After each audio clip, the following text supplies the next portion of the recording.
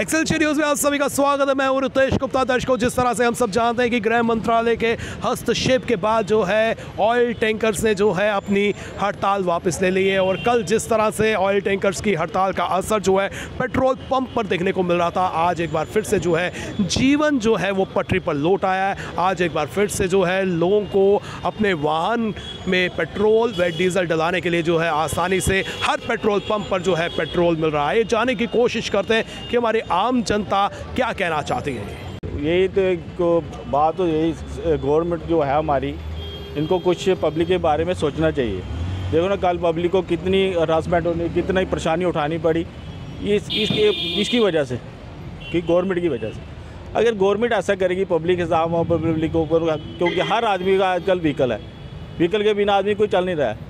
अगर पेट्रोल की दिक्कत इतनी आ जाएगी अगर इतनी परेशानी या इतनी छोटी छोटी बातों पे अगर पब्लिक को परेशानी उठानी पड़ेगी कोई ये कोई गवर्नमेंट की अच्छी बात नहीं है। लेकिन गवर्नमेंट की बात करें तो गवर्नमेंट ने जिस तरह से इमीजिएट जो है इस पर वॉकआउट करते हुए जो है स्ट्राइक को जो है रोल बैक कर दिया तो वो भी जो है सराहनीय कदम है। नहीं नहीं अगर गवर्नमेंट ने ये किया पहले जो गवर्नमेंट के पास इन पब्लिक की कोई डिमांड यही होगी ना कोई परेशानी यही होगी ना अगर पहले ही इस चीज़ को हल कर दिया तो अगर बाद लोगों की इतनी परेशानी के बाद हल करना पड़ा तो क्या फ़ायदा होगा पहले ही कर देना चाहिए था। ठीक है नहीं? अगर ये अभी आप देख लो अभी कल से कितनी दुनिया, कितने लोग परेशान हुए होंगे? छोटी सी बात। अगर इतनी परेशानी अगर करने के बाद आपने उसको नॉर्मल लाइफ कर दी तो पहले कर देना चाहिए था। तो सुरेंद्र जी, जिस तरह से कल हमें पेट्रोल पंप जो है मैक्सिमम ड्राई नज़र आ रहे थे, आज एक बार फिर से जो है लोगों ने राहत की सांस ली है लोगों को फिर से जो है पेट्रोल, डीजल मिलना शुरू हो गया। क्या कहना चाहते हैं? ये आज तो फिर नॉर्मल हो ही गया ना। एक दिन में सारी पेट्रोल जो ने भरवा लिया आज तो बिल्कुल नॉर्मल है। जब आज मेरी टैंकी फुल है तो मैं आज तो घर पे बैठूँगा ना।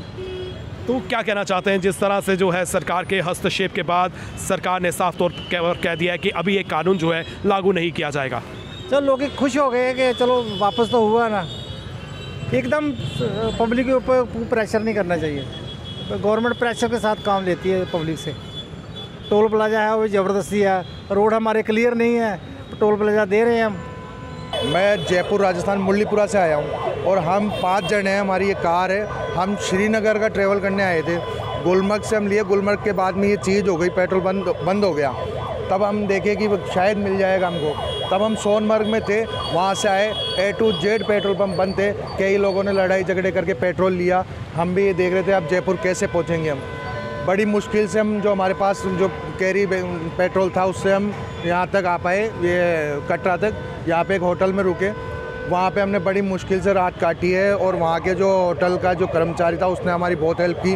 उसने हमें 20 लीटर पेट्रोल अरेंज करवा के दिया है। उसके बाद में हम यहाँ के, अब हमने टंकी फुल करवाई है।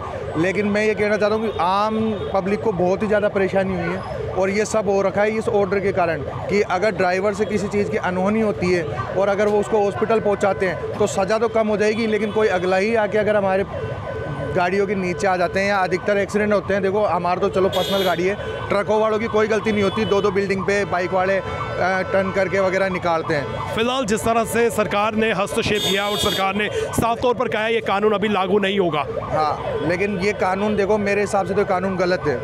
इस चीज़ को हटा देना चाहिए, इनको इसी तरीके का कोई अलग तरीके का कानून निकालना चाहिए, बाकी ये सात साल की सात लाख की ये जुर्माना और दस साल की सज़ा, ये सब बेकार है। ये चीज़ हमारे तो समझ में नहीं बैठी भैया, ये चीज़ बदलनी चाहिए।